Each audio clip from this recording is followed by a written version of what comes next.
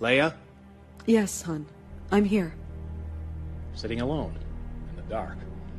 What's going on?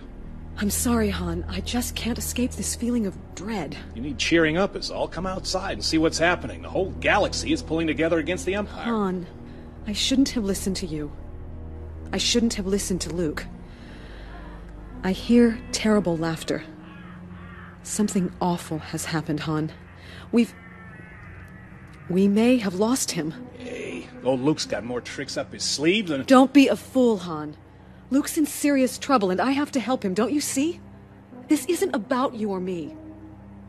It's about Luke. It's about the whole galaxy.